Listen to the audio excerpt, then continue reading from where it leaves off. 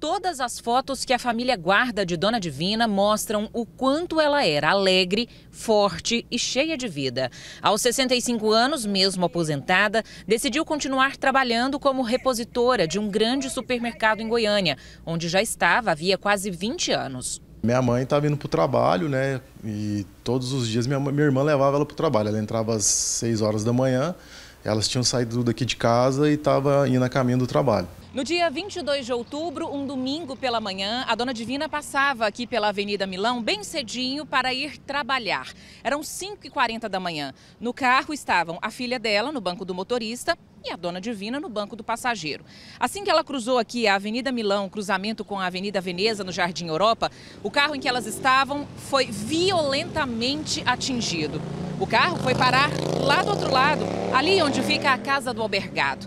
O motorista permaneceu no local, esteve aqui, a família foi chamada, a dona Divina chegou a ser socorrida. Horas mais tarde, acabou morrendo no próprio hospital.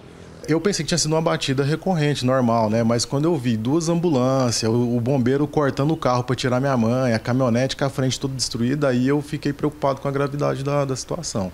A imagem de uma câmera de segurança mostra a caminhonete em alta velocidade pela Avenida Veneza. No cruzamento das avenidas, a caminhonete acerta o carro onde estavam Dona Divina e a filha dela.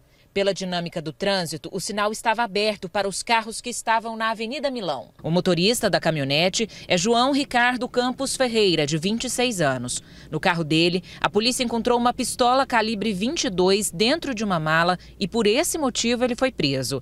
Depois de pagar fiança, foi liberado. Nós tentamos falar com João e com o advogado dele, mas não tivemos respostas. Ele ficou longe, só ficava falando no celular o tempo todo, conversou com os policiais lá. É, observei a camisa que dizia é, bebo pouco pelo tanto que sofro. Ele se negou a fazer o bafômetro, né? Então, assim, é, foi essas coisas que eu observei dele. Ele não chegou para perguntar como é que estava a situação delas é, no hospital, essas coisas, não. Ele só ficou na dele e depois ele saiu com a polícia. A filha mais nova de Dona Divina não quis aparecer.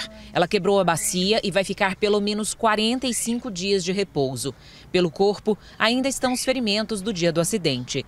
Dona Divina deixou três filhos e muitos amigos que querem justiça. A gente espera que ele seja punido, né, pela pelo que ele fez, né, que não seja mais um caso, né, na cidade.